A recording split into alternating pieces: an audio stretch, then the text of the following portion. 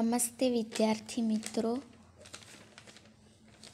Gujarati medium કક્ષા છે semester two subject Hindi इकाई चार पुस्तक हमारी मित्र जिसका प्रकार है पत्र तो पुस्तक पुस्तक के बारे में बोला जाए तो पुस्तक हमारे मित्र ही नहीं, लेकिन हमारे जीवन का आधार है। पुस्तक ही हमारे जीवन का आधार है। पुस्तक हमारे जीवन में बहुत सारी ज्ञान का संचार करता है, इसलिए पुस्तक हमारे मित्र माना गया है। तो उसके बारे में जो पत्र इस पाठ में लिखा है तो उसको हम समझेंगे। यहाँ थोड़ा पत्र का महत्व बताया है, उसको समझेंगे। जीवन में पत्रों का विशेष महत्व है। हमारे जीवन में पत्र का विशेष महत्व है। वैसे देखा जाए तो आजकल पत्र का उपयोग कम हो रहा है। पत्र का उपयोग कम होते हुए हम देख रहे हैं। लेकिन कोई ऐस, ऐसी जगह है जहाँ पत्र का उपयोग बहुत ज़्यादा हो रहा है और पत्र लिखा जा सकता है। तो पत्रों के माध्यम से मानवीय संबंधों में ताजगी, नयापन व जीवनता बनी रहती है। पत्रों के माध्यम से मानवीय संबंधों में, मानवीय जो संबंध है उसमें ताजगी एवं नयापन एवं जीवनता, आजीवनता बनी रहती है। पत्र व्यापक संचार का माध्यम भी होते हैं। पत्र लेखन एक कला है। पत्र को एक लेखन कला माना जा सकता है। अतएवं पत्र लेखन की कला से छात्र अवगत हो, यह आवश्यक है। पत्र के लेखन की कला के माध्यम से छात्र जो जो छात्र विद्यार्थी है, वह उससे वंचित हो, पत्र से वंचित हो तो यह आवश्यक है। इसके साथ साथ एस एम एस ईमेल और फैक्स के ज़माने में भी पत्र शैली का विकास करना मुख्य उद्देश्य है। इसके साथ साथ M S S S M S email और फैक्स के ज़माने में भी पत्र शैली का विकास करना मुख्य उद्देश्य माना गया है। तो विद्यार्थी मित्रों यह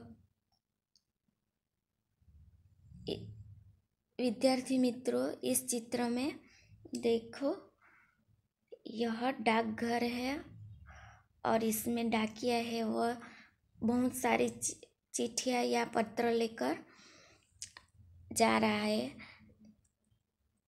एक लड़के को दे रहा है। तो यह डाकघर है। उसके बाद हम पत्र को देखेंगे।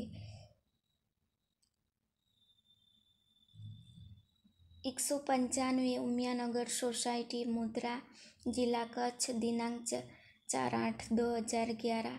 प्रिय मनोज, अब यहाँ जो पत्र लिखने वाला है तो जो पत्र लिखता है, जिसके ऊपर जो पत्र लिखा है, उसके सोसाइटी का पता, जिला दिनांक और उसका नाम है प्रिय मनोज।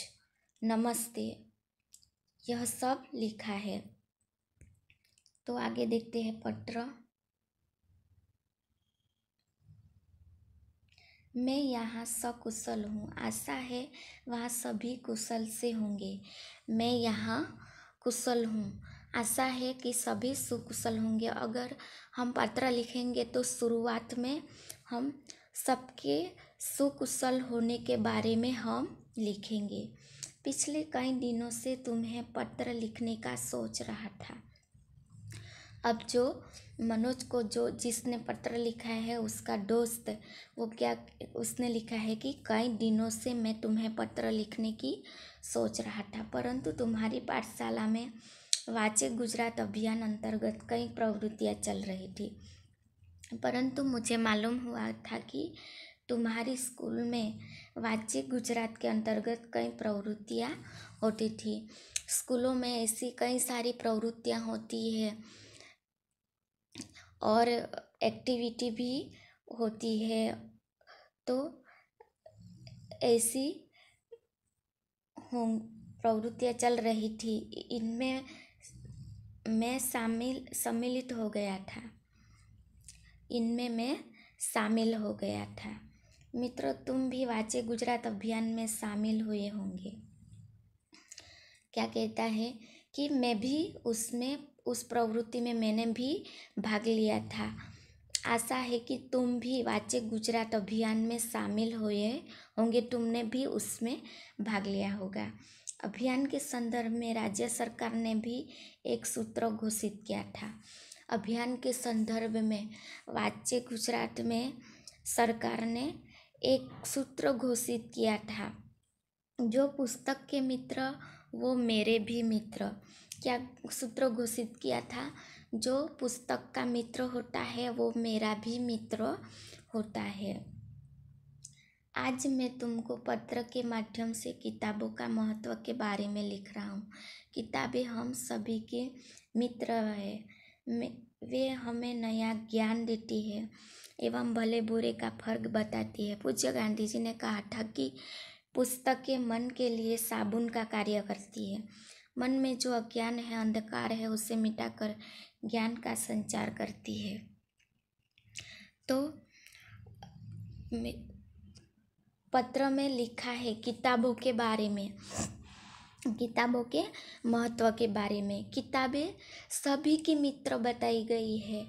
वे नया ज्ञान भर देती है, अज्ञान को ज्ञानी बना देती है, अंधकार को मिटाकर प्रकाश भर देती है। तो ऐसी, उसी तरह भले बुरे का फ़र्क भी बता देती है। भले, भला और बुरा में क्या फ़र्क है वो भी हमें बता देती है। और पूज्य गांधी जी ने तो कहा था कि पुस्तकें मन के लिए साबुन का कार्य करती है। जिस प्रकार साबुन गंदे कपड़ों के मैल को निकाल देता है, उसी प्रकार हमारे मन में जो अज्ञान है, उसको अंधकार है, उसको मिटाकर ज्ञान का संचार भर देता है यह किताब। तो उसी प्रकार किताबें ज्ञान का स्रोत है। किताबें ज्ञान का स्रोत माना गया है, जिससे जिज्ञा, जिज्ञासा की पूर्ति होती है नया नया जानने की जिज्ञासा होती है। इतना ही नहीं, ज्ञान और विज्ञान को गतिमान रखती है। ज्ञान और विज्ञान को गतिमान रखती है, आगे ही बढ़ती जाती है। किताबें मूल्यवान है, मूल्यवान यानी कीमती है। हम इनको पढ़कर हमारे जीवन को सजाना एवं संवारना जानते हैं। हम इनको पढ़कर हमारे जीवन को सजाना एवं संवारना जानते हैं। मित्र, मैं ऐसा कहना चाहता हूँ कि मुझे पैसा नहीं पुस्तकें चाहिए। मित्र क्या कहता है अपने दोस्त को कि मैं, मुझे पैसे नहीं चाहिए, लेकिन मुझे पुस्तकें चाहिए। जन्मदिन के अवसर पर पुष्प का गुलदस्ता नहीं, बल्कि किताबों की भेंट देनी चाहिए। पुस्तकें हमारे मित्र है और रहेगी। मैं तो कहता हूँ कि, मित्र, मैं तो कहता हूँ कि मुझे पैसा नहीं, पुस्तक चाहिए। जन्मदिन के अवसर पर गुलाब का गुलदस्ता नहीं, फूल का गुलदस्ता नहीं, बल्कि किताबों का भेंट चाहिए, किताबों की भेंट देनी चाहिए। पुस्तकें ही हमारी मित्र है और रहेगी ही। इनको पढ़कर ज्ञान अर्जन करने की ज़िम्मेदारी हम सब की है। पुस्तक को पढ़कर ज्ञान को आगे बढ़ाने की ज़िम्मेदारी हम सब की है। मैंने हर रोज़ अच्छी किताब का एक पन्ना पढ़ना शुरू कर दिया है। मेरी आशा है कि तुम भी ऐसा ही करोगे। मैंने हर रोज़ अच्छी तरह किताब का एक पन्ना पढ़ना शुरू कर दिया है। मेरी आशा है कि तुम भी ऐसा ही करोगे। आगे। चलो, आज से संकल्प करें कि दोस्तों के जन्मदिन या शुभ अवसरों पर शुभकामना के साथ साथ किताबों की मूल्यवान भेंट देंगे। क्या कहता है उसका दोस्त? चलो, आज से संकल्प निर्णय करें कि दोस्तों के जन्मदिन या शुभ अवसरों पर शुभकामना के साथ साथ किताबों की मूल्यवान हम भेंट देंगे। अब हमें भूखे नहीं पर भूख चाहिए। परिवार के सभी बड़ों को मेरा प्रणाम, तुम्हारा दोस्त पूजन। यहाँ पर किताब का, कुछ किताब की शुभकामना देते हुए जन्मदिन की शुभ अवसरों पर शुभकामना देते हुए साथ साथ किताबों की मूल्यवान भेंट देने के साथ साथ यहाँ पत्र पूर्ण होता है।